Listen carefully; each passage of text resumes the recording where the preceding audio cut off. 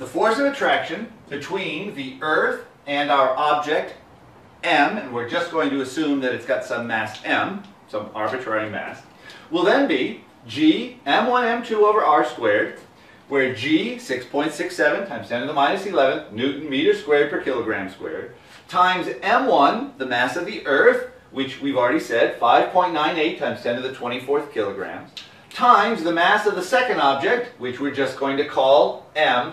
Now, I'm really sorry about this, but just be careful. Don't confuse this m, the mass of the object, with this m, which means meters, or that m for meters, and then divided by the distance between them, r squared. And r, remember, is just going to be the radius of the Earth, 6.38 times 10 to the 6 meters squared. Now, let's divide that all out. What do we get? Well, let's look at the uh, units first. Notice we have meters squared and meters squared, so the meters squared cancels. We've got kilograms squared. Well, we've only got one factor of kilograms, so one of those kilograms will cancel. So we end up with, now remember that's the mass m, newtons divided by a kilogram. What is a newton? Remember, a newton is a force. You might either remember how newtons are defined or think hmm, a newton that's a force, and a force is m times a, and a mass is a kilogram, and acceleration meters per second squared. So a newton is a kilogram meter per second squared. Divided by a kilogram leaves us with meters per second squared. So we have the units are going to be meters per second squared, and then times m, the mass of our object. So times m. Multiply this all out, and what do you get? Well, you might be surprised. The value is 9.80. We have seen that before. 9.80 meters per second squared. What is that? That is little g. This is the mass m times little g. Very, very interesting.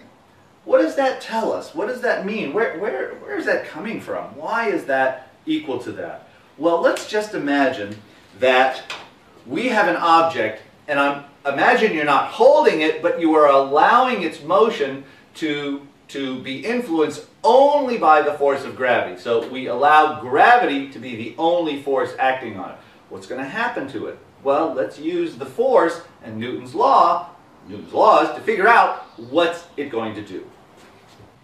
If we have an object and we allow gravity to be the only force acting on it, it falls down.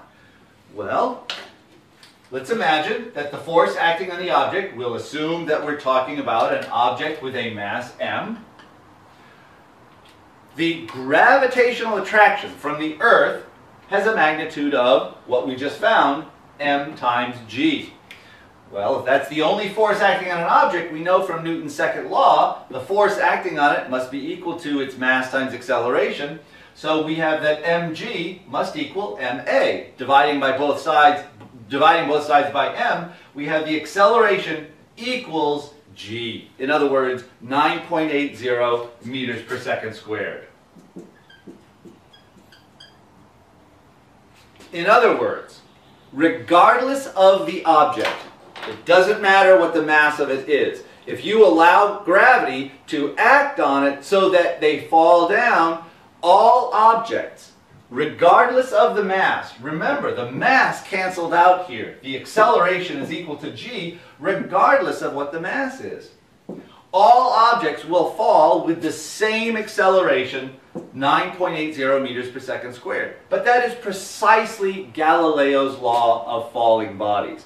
So Newton's law of universal gravitation demonstrates why all objects on the Earth's surface, or near the Earth's surface, fall with the same acceleration.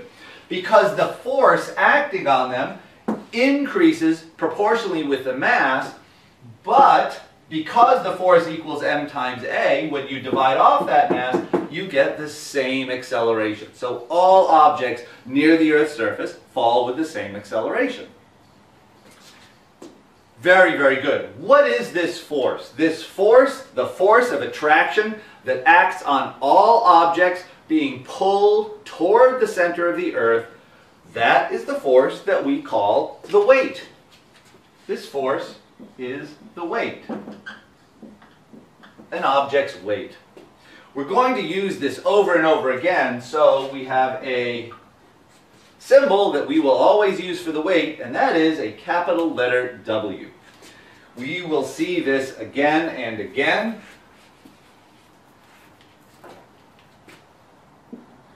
That the weight of an object is equal to m times g. Here we get an understanding of what's the difference between weight and mass. Weight is a force. It's a force of gravity, a force of attraction, typically for us, the force of attraction to the earth. The force that we experience being attracted to the earth due to this force of gravitational attraction. So the weight of an object is a force, the force that is experienced from gravity. The mass of an object, remember, is just a measure of how much stuff something has. Now we can understand how these are very, very different. If I were to take this orange, well, I couldn't really take this all the way out into outer space all by itself. Imagine you're in a rocket ship or something like that, and you take this into outer space. The mass of this object, how would the mass change? The mass would not change. The amount of stuff that's there is still the same amount of stuff here as it is the amount of stuff out in outer space. The mass of the object would not change. But what about the weight of the object? Well, the farther away from the Earth you are, assuming you get farther than 5 kilometers, if you're a million kilometers away, uh, yeah, 5 kilometers, 5,000 5, meters, if you're a million kilometers away or something like that, the, the gravitational attraction will be much, much less. The weight of the object will be much, much less. So the weight of this object depends on where it is relative to the Earth, but the mass of the object does not. The measure of how much stuff is there is just a constant value, Sit mass here, same mass there, but the weight is a force, which is a measurement of the gravitational attraction between the Earth and the object, and that depends on how far away the object is from the Earth. Excellent, excellent, excellent. That is a uh, uh, uh, very good explanation of, or that's a good understanding now that we have between the difference of weight and mass. Excellent. What about some other forces? For this orange, remember, with a mass of 480 grams, or 0.480 kilograms, it has a weight of, weight equals mg, 0.480 kilograms, times g, 9.80 meters per second squared. That gives us a weight of 4.70 newtons. If I hold this stationary, what is the acceleration of the orange? Well, it's not moving, so the acceleration is zero. If the acceleration is zero, what is the net force acting on the orange? If the acceleration is zero and F equals ma, the net force acting on the orange must be zero. There is a gravitational force, the weight, of, that's acting downwards on the orange of 4.70 newtons. So where's the other force that's balancing that? Well, coming from my hand. In order to hold the orange stationary, I must push upward on the orange with a force of 4.70 newtons to balance the weight. So the weight is downward, my force is upward, they balance each other for a zero net force, and the orange remains stationary. This is true anytime we have an object that's basically stationary on a surface. If I were to take this, and I've got a table here, we'll see my table in a minute. If I were to take this and put it down on a table, let me just draw this. So here's a table. And we put our orange on the table. What forces are acting on the orange? Well, we know weight is downward. We've got a weight here, downward. And in this case, we know the magnitude of the weight is 4.70 newtons. In this case, the table must be exerting a force on the, on the orange. The table exerts a force upward then of 4.70 newtons. this, this is going to be something that we'll see over and over again. When an object is resting on a surface, that surface exerts a force on the object in the upward direction perpendicular to the surface of the, uh, the, perpendicular to the surface on which the object is resting. That force we will refer to as the normal force.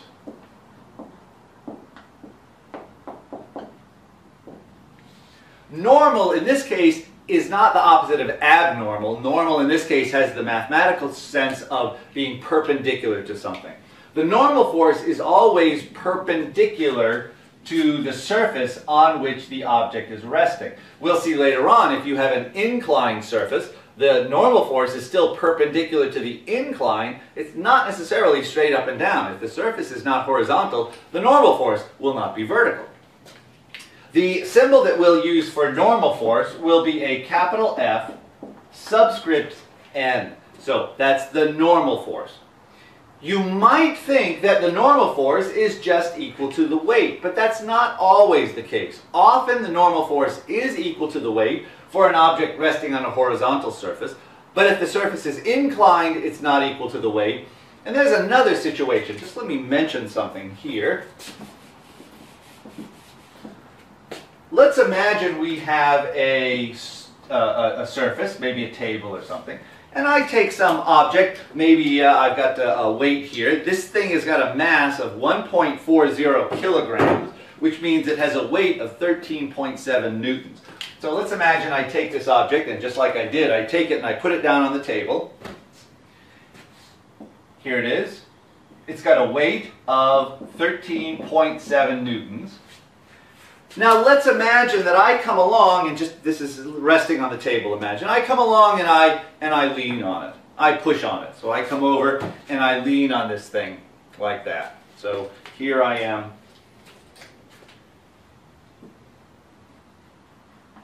Okay, there's my hand, obviously.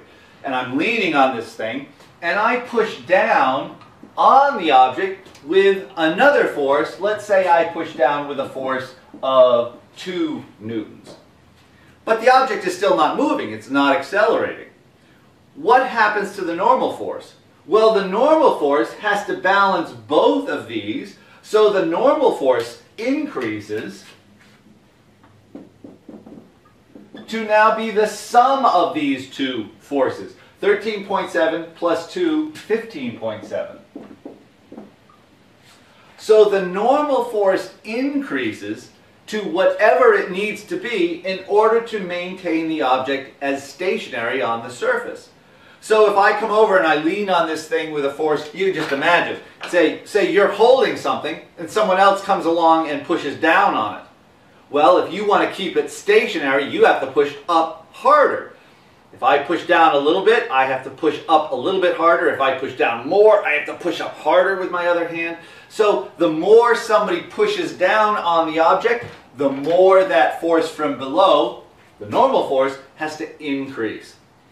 Obviously, the normal force cannot just continue to increase uh, forever. If I were to push hard enough, I can't really, but just imagine if I were to push hard enough so that the table could not make a normal force large enough, the table would break and the object would, would fall through the table uh, assuming that doesn't happen, the normal force will then increase to whatever value it needs to be in order to maintain the object as stationary. If nothing else is pushing on it, it will be the weight if the surface is horizontal. But if there is another force, the normal force increases. On the other hand, imagine this is on my hand and I take this hand and I pull up a little bit. I pull up with a little force, not, but, but still less than the weight. I don't need to apply as much force with this hand. I can decrease the amount of force that this hand exerts. So this normal force would then decrease. Let's imagine I come over here and I actually pull upwards with a force of 2 newtons. I pull up with that force. What happens to the normal force? Well, the normal force doesn't need to be as large as 13.7 anymore. It would actually decrease to 11.7. 11.7. Again, notice, what's the net force down? 13.7 down. What's the net force up? 2 plus 11.7, 13.7. So we've got 13.7 down, 13.7 up. Net force is 0. It doesn't accelerate. It has no uh, motion. Net, F net is 0, A is 0. So, again, the normal force will just change its value to whatever it needs to be in order to keep the object stationary on the surface. Very, very good. Let's think about another force.